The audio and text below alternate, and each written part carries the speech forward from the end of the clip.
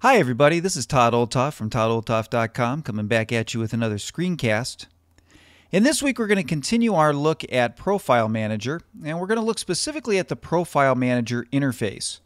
Now, if you're just viewing this video right now, this is a part of a series that I'm doing on Profile Manager. And so you may want to go back and look at some of the earlier versions uh, where I talk about how to set up Profile Manager, how to get this interface here going, and what each of these different uh, settings mean, and then how to get your devices enrolled in Profile Manager. And so you may want to go back and take a look at those. So what we're going to do uh, today, though, is we're going to take a look at some of the basic settings that are uh, included in the users and groups area and how to set certain restrictions so that you can manage uh, what profiles are allowed, who can add what, uh, and all of that kind of thing. So uh, basically, uh, what we're going to do is go to the actual um, Profile Manager itself. Now, you can get there within Profile Manager by clicking on this little uh, link right here. Uh, I've already got it uh, pulled up, so let me just pull up a copy here for you. And so here I am inside Profile Manager. Now, when you launch it for the first time, it is going to ask you to log in, and so you'll have to log in with your credentials. but like I said, I've already done that. And so this is the interface. Now, uh, you notice here on the side, we've got our, our library of things. Uh, in the middle here, we have the specifics for whichever area you've chosen. So in this case, we've chosen users. And so we're looking at uh, one of our contacts. Uh, I just did a search to kind of narrow it down just to this one. Uh, all your contacts will show here if you've got multiples. And then you have the specifics for that particular contact or group or device over here on the side. And so uh, what we're going to do is let's take a look at some of this uh, information here on the side. And uh, let's just take a look at this About area. Now, inside the About area here, you'll notice we've got uh, tabs for General, uh, Restrictions, and what groups this particular individual is in. Now, one of the new additions to Mavericks Server is this restrictions area, uh, where it gives you a little uh, a little bit more fine-tuned uh, options here, so that you can basically set up how you want your profiles uh, to be used by your specific users and by your specific groups. And so, let's start by talking about these restrictions and seeing how these work, so that you can get a feel for that, since it is uh, a new setting within uh, Mavericks Server. Now, you'll notice that here I am on a user. And on the restrictions, you notice that it's all grayed out, uh, but it's showing me certain uh, restrictions that are uh, checked on here, things that uh, they're allowed to do uh, here. And then uh, you can see I have I can actually only change this one right here because everything else is is kind of out there. It's it's all grayed out. I can't do anything with it. that's because there are groups that are have settings on them that preempt uh, the individual settings. So basically, how this works is that if a user is in a group, whatever those group settings are for these restrictions, those settings are the things that apply. And so, because all of these things are checked in a group that this individual's in, it won't contradict that. It won't let you come in here and then change it uh, without first changing it within the group itself. Okay, so that's how Profile Manager has it set up so that you don't make those mistakes. So, uh, you can learn about restrictions just by uh, clicking on this little uh, arrow here, and that'll bring you the uh, help guide that will give you details on what each of these means. But uh, what I want to do is just show you how that works by taking a look at groups. So, we're going to go over and look at groups, but I just wanted to show you in the individual area here that you had to use the groups to manage uh, the details here. Um, so let's go over and take a look at that. We're going to go over to groups. And so you can see I've got my various groups here. I've got a, a group for everyone, I've got a group for kids, and I've got a work group here. And it tells me, you know, how many groups it is, how many users are in those groups. And so it gives me uh, that layout. Now, each and every one of these groups that I set up, uh, I set up inside a profile, uh, inside my uh, server. So let me just pop this down for a minute. Uh, the groups are actually found in this group area here. And you can see there's my work group and there's my kids group. Now, the groups for everyone is just a general setting for, uh, you know, everyone that you've got. Uh, but you'll notice that these two things are the groups that show up. So let's just pull that back up. Actually, let me just put this on Profile Manager here. Let's pull this back up.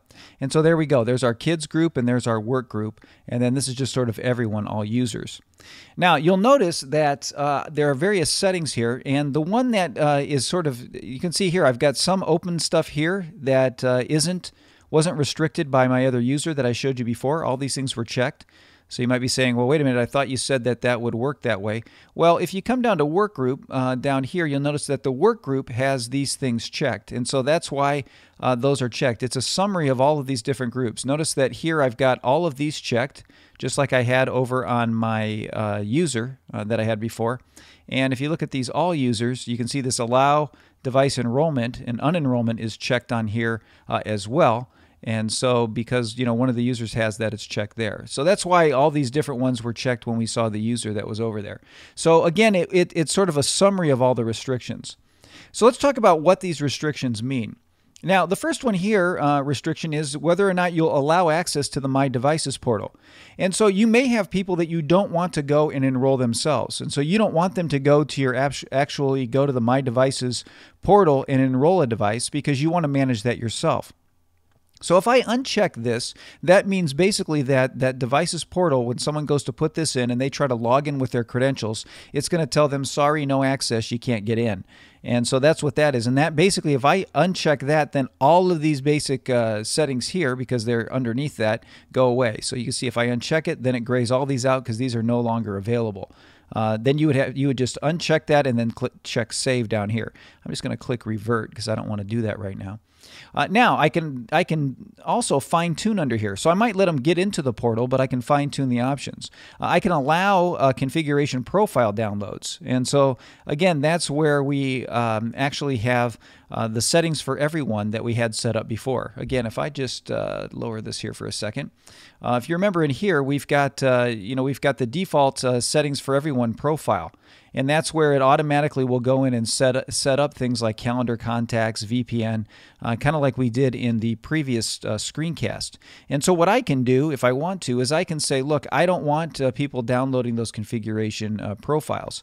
And so if I if I don't do that, then those profiles will disappear from the other screen. In fact, let me show you, uh, give you a, just a feel for what that looks like. I'm going to go over to uh, the actual My Devices screen, and I'm going to uh, log in as one of my users and show you what this looks like so you can see what it looks like before and after. So let's come over here to this area, and let me just log in as one of my users. Okay, here I am logged in uh, as one of my users, and so basically I'm on this particular Mac that isn't enrolled, and so I could enroll and go through that process. Uh, now, notice on the profiles, I've got the settings for everyone profile up there, and I've got the trust profile, uh, just like you've seen before. So now what I'm going to do, now that you've seen this, we're going to go back into Profile Manager and I'm going to remove the ability for this to uh, be downloaded by this user and then you'll see uh, how that shows up in the My Devices area. So what I'm going to do is let's go over to Profile Manager and take a look at that. Okay, so here we are back on Profile Manager. So what we're going to do is just uh, download this, uh, uncheck this Allow Configuration Profile Downloads. We're going to say Save. And so basically I've saved that. So now that isn't allowed now for the work group. You're not allowed to download that profile. And so now we're going to go back into the user uh, on the My Devices and log in. So I've got to kind of switch in and out of this. So I'm going to kind of cut this down to make it a little faster, but I want to show you the difference so you can see what that looks like. Okay, so I re-logged in, so here I am logged in as the other user. If we go over to the profiles, now you notice that profile's gone. It's no longer available.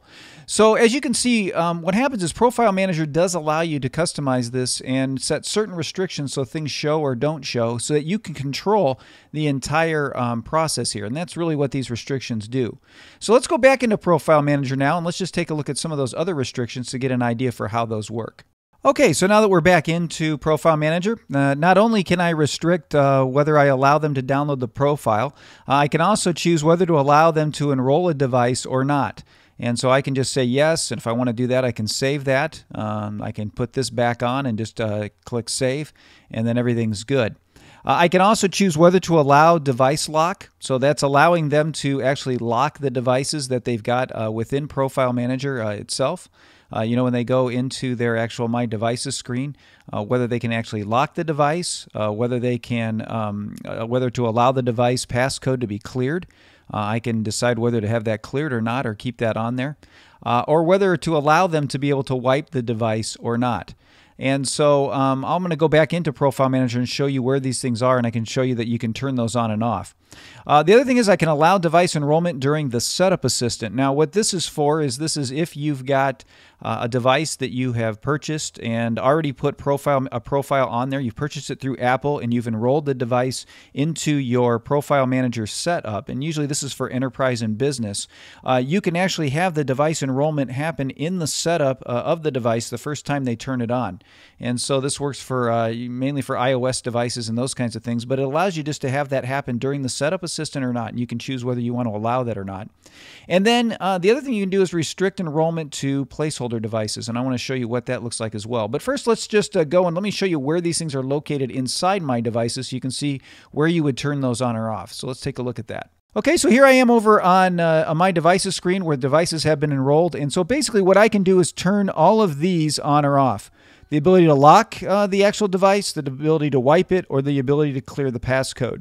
So that's basically what those settings are referring to. Just wanted to show you exactly where those were located. So now we'll go back into Profile Manager here. And now where we have this says it says restrict enrollment to placeholder devices, that is where uh, you can uh, uh it allows you to actually limit what devices get enrolled in your system. So what you would do is ahead of time, you would set up a device that's a placeholder for a device that one of your users has, and then they can actually enroll that device. But if they try to enroll with a device that you didn't create a placeholder for, then they won't be able to enroll that device. So let's take a look at how do you create a placeholder. Uh, you would basically just come over here to your devices. Uh, yeah, let's save those changes. And here we are in some of the devices that I've already got set up. So you come in here to your devices and you would just click the plus right here and you would say add placeholder. Now you can also import one if you want to, but we'd say add one. And then basically you just tell it what device type you want, whether it's uh, iOS or OS 10 or an Apple TV. So you can actually set up an Apple TV ahead of time as well. Uh, you put a name on the device. And so, you know, name it iPhone or whatever. And then you can do it by serial number, UDID, IMEI, you know, all of these. You can choose which one you want to use. You've got to have at least one of them that you put in there so that server knows that, hey, when this device comes on, I want to enroll this device and put it with the setup that's been put together for this particular device. So you would actually set that placeholder up and then you can restrict users to only be able to enroll if they're using a device that you've set a placeholder for. Otherwise, they can't enroll it. And so it's great in business uh, because it you know allows you to keep people from uh, installing devices that you don't want on your system.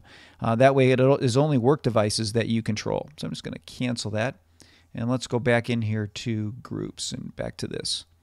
Okay, so that just gives you an idea of how those restrictions work. And so that's how you would set those up. Now, let's go ahead and tour through some of these other uh, options here. We've got settings uh, that are in here for this group. You've got uh, settings for the work group itself that you can edit, and I'm going to cover that in another screencast in detail on how to edit those. Uh, you also have enrollment settings, and so you can actually send an allow activation lock command uh, after the device is enrolled. Now, these are for supervised devices, so devices that you are managing, uh, not devices people are bringing, and so those would be devices, again, that you've pre-enrolled, and you can then allow uh, for the activation lock command to happen or not, where they've got to set uh, set that lock before they can actually erase and reinstall a system.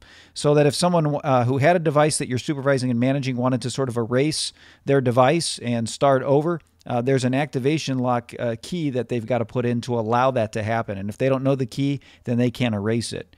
And so that again, it keeps you from having maybe employees or students take a device and uh, want to keep it for themselves. So they try to erase it and then reinstall everything on it and remove all your profiles. So it just adds a safety for that. And so you can actually check that to send it. And you can say only send the command uh, if the activation lock bypass code has been obtained. So one way or the other, that's how you would do that. So that's what that's for. Uh, we also have apps, and so what you can do is actually add uh, applications uh, to a work group, uh, to a device, or to users. And so there's apps up here. I'm going to talk about how to add uh, applications later, but just wanted to let you know that that tab was there. Uh, you have members of the group, and so here is a list of all of the different members that we've got in this particular group. Uh, and then activity, and this would show any activity of uh, uh, information that's been pushed back or forth uh, to your uh, groups, or the people in your groups, or to individual users. And so that's how that works. Uh, down here, you've also got a little setting gear where you can lock, clear passcode, wipe, update info, allow activation lock, or clear the activation lock. So you've got that setting down there as well. So let's go back into our users here. Okay, so here we are back in the users. And so just to show you the little bit of the difference here, you've got the groups that the user's in. So it shows you those groups. You can get to them quickly. Uh, you've also got, uh, again, there's your settings for the user, very, same, the, very similar to the groups, apps, the devices that they have uh, enrolled to them, and then again, activity. Let's go back to about. So we've got the option again down here to do the exact same things with this. Uh, and then if you uh, click the plus here, you can actually add devices to the particular user. And so if I just click on add devices, uh, I get this drop down here that allows me to associate uh, these devices with this particular user. And all I would do is click add and it would then add it in this uh, field right here, or I could actually click uh, add all and it would set them up with the devices and associate them with that particular user. I'm just going to click done because I don't want to do that. So that gives you an idea of some of the basics of uh, the settings and setup for users and groups, as well as uh, restrictions and how to be how to start to restrict uh, some of the things that happens with the devices. Again, this is a really great ad. It's something that was been asked for for quite a while from Apple uh, with Profile Manager, and it's great to see it added in this one. So that's all I have for this week. I'll be back at you next week with another screencast to help you learn how to do more things with your Mac.